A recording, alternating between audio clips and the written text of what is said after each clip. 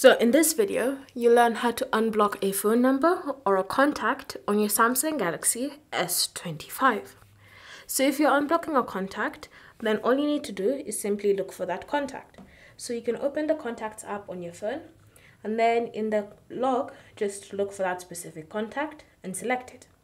Once you've selected it, you should see this option more, tap on it, then select unblock contact and now you'll start receiving phone calls or messages from that specific contact.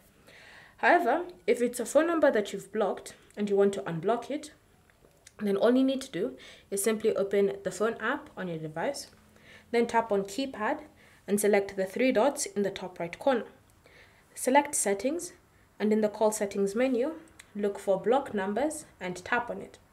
From here, you should see the numbers that you've previously blocked Again, if you have contacts that you still have blocked and you don't know which ones they are exactly, you should still see them in this list.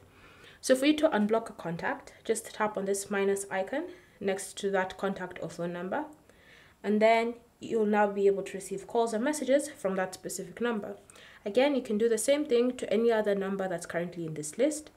And once you've done that, now you've successfully unblocked that phone number or contact. Thank you for watching. If you have any questions or comments, leave them down below and we'll get back to you.